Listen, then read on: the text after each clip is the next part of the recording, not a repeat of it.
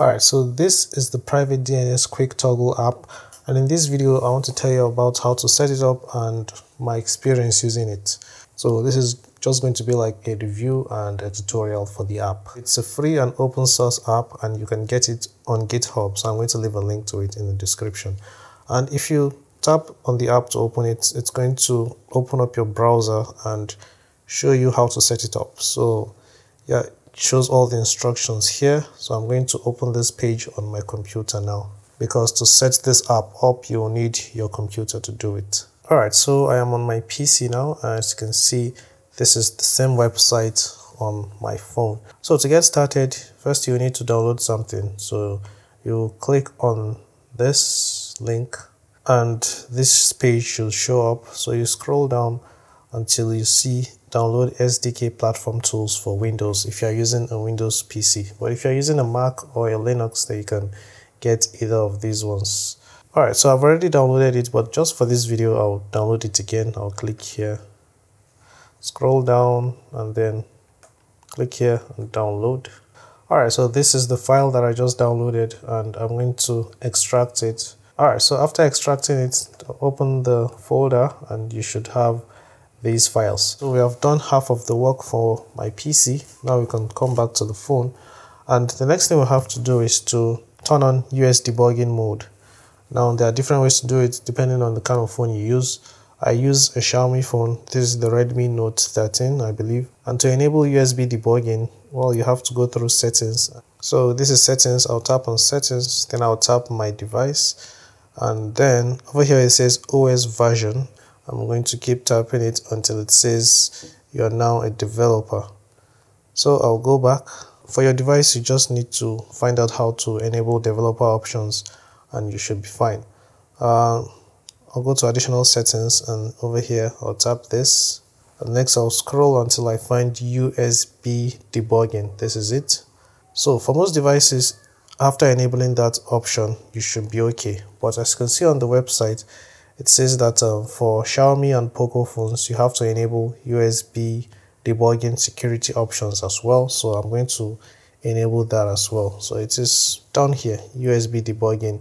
But if you don't use a Xiaomi phone or a Poco phone, then you don't have to enable this. This phone is not a Xiaomi phone, so I didn't have to do it, but I've done it on this phone as well. Like I have installed the app on this phone. So for the Xiaomi phone, you have to enable this one as well. Alright, so after enabling USB debugging and USB debugging security settings if you're using a Xiaomi phone, you can go back. Next, you'll be connecting your phone to your PC. So I have my Type-C USB cord here.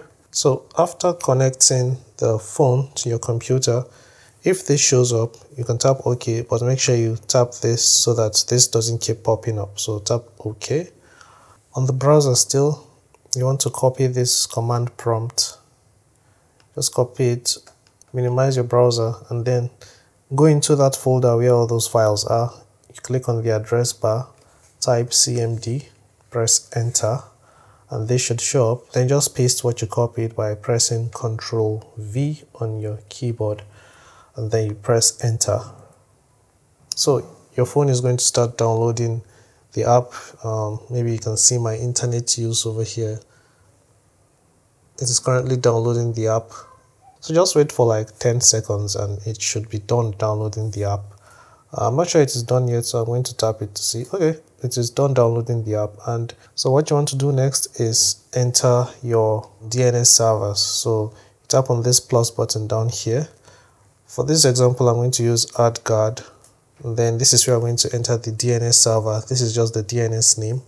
So dns.adguard. Then I'll tap add so I have added a DNS server. So what I need to do next is add the button up here so that I can easily activate or deactivate my DNS from here. So I'll tap edit. And if I scroll down, I should see private DNS. So this is it over here. So you can tap on this. It depends on the phone you use, but you should be able to edit your your quick tiles. So I've added it over here and then I'm going to drag it to the top. Then I'll tap this to enable it so you can see now that it is blue so that means I am using um, the AdGuard DNS server so you see now it says off now it says AdGuard is on. So that's how you use it to quickly turn your DNS on or off. So we are done with the computer now. I can close this and close this. Alright, so now I'm going to give you my overview or a review of this app. And the first thing I want to say is that I like that you can add multiple DNS servers here. You just saw that I added AdGuard. Next, I'm going to add my favorite DNS server, which is NextDNS. So NextDNS. So now I can tap here to add. And you can see I have two DNS servers now. So I can even organize how I want them to work by sliding this up and down. If you have multiple servers, then you can um, arrange them the, the way you want. Um, if you tap on this settings icon at the top right corner, you'll see some options. I didn't really understand the options when I started using this app and I am still not sure I understand it 100% but I'm going to explain what I understand so far. So you can see you have four options. The first option says only off. So if you select this and tap OK, it means that um, the only thing you can do here by tapping on this is to turn the service, the DNS service on or off.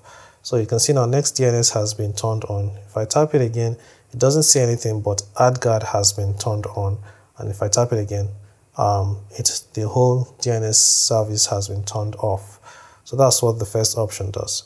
The second option is to also include auto. So auto means that um, your phone is just going to get the best public DNS server that's how I understand it. So I'll show you now. If I tap here, you see it has an A instead of the key lock. And if I head over to NextDNS, NextDNS is saying I'm currently using Cisco Umbrella as my DNS resolver. So it means that um, the app or my phone is just getting any publicly available DNS server. Now you can see it is switching between Cloud Cloudflare and the other one, the Cisco I don't remember the rest, but yeah, Cisco Umbrella. So it is just switching between those two to get maybe the best DNS service that is publicly available. So if I want, I can tap this again to turn on next DNS. And if I turn tap it again, it's going to activate AdGuard. All right, so next we have off and auto. So let's try this out and see what happens. Okay, so it is now turned off. Uh, it is now auto. It is now in auto mode.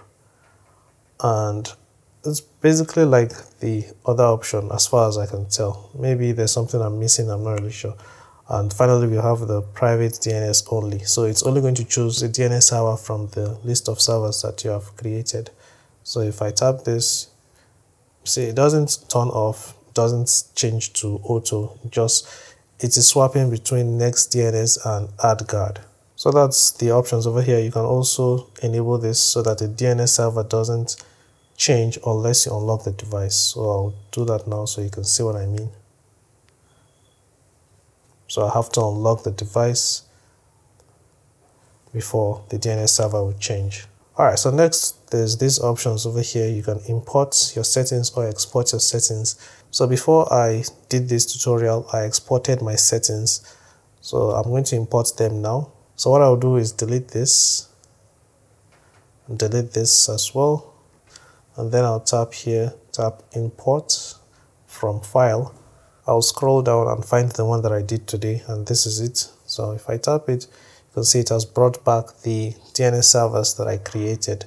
It's a really good feature that I like. So if you have multiple DNS servers and you don't want to have to enter them over and over again, maybe on your other devices, you can quickly export and then import on the other device. So to export, you tap export and tap um, to file or you can even share from here so that um, if you have uh, you can share maybe via Bluetooth and the other phone can quickly accept it.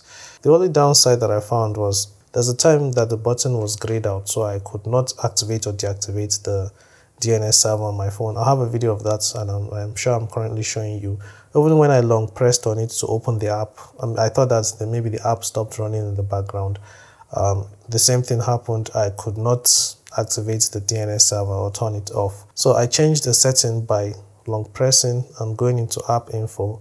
I don't know if this is available on all Android devices, but it is available on both of my Android phones. And I made sure that I deactivated this pause app activity if unused.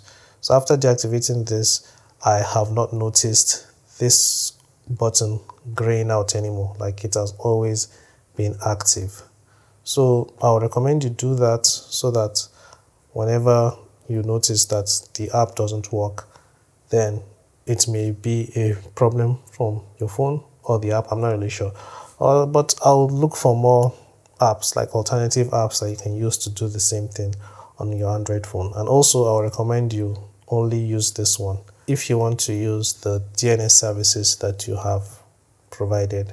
All right so that's my overview for the app and how to use it. If you have questions please let me know and i'll be seeing you in the next one. Take care and bye bye